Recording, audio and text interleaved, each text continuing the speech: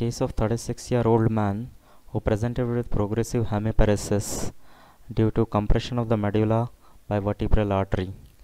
This is a far lateral approach with cerebellar retraction showing the origin of uh, posterior inferior cerebellar artery. The pica is traced till its origin uh, at the vertebral artery. You can see the medulla, the vertebral artery is dissected, all the arachnoid around pica and vertebral artery is uh, being dissected and once the vertebral artery is freed from the medulla then it will be separated from the medulla. A Teflon sling is passed between the vertebral artery and uh, the medulla oblongata and further freeing the medulla from the vertebral artery.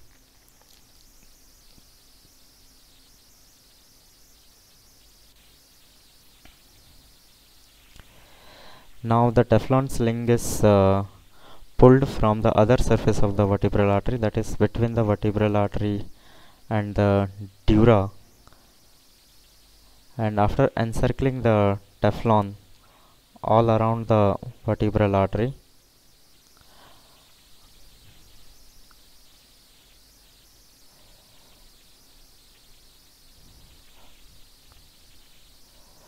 a stitch is taken to secure the Teflon sling along the vertebral artery.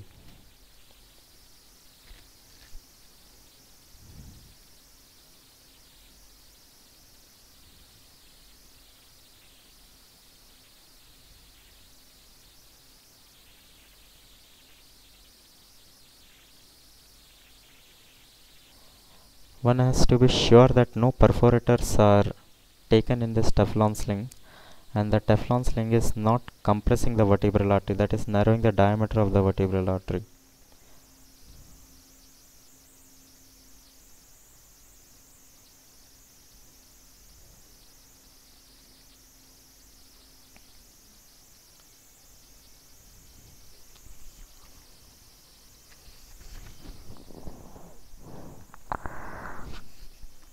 The excess of uh, Teflon sling is cut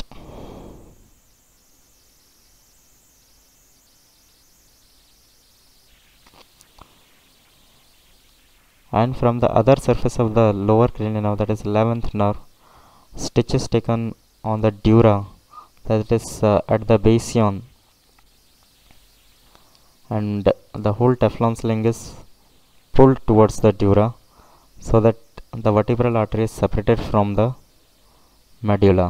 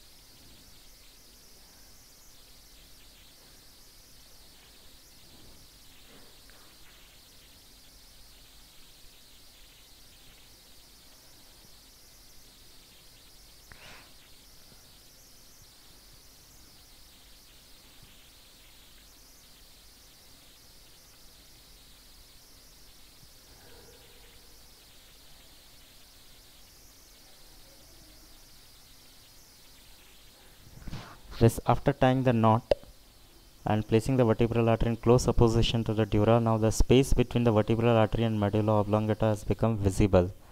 There is a post-op imaging showing decompressed medulla. Now the space between VA and medulla is visible.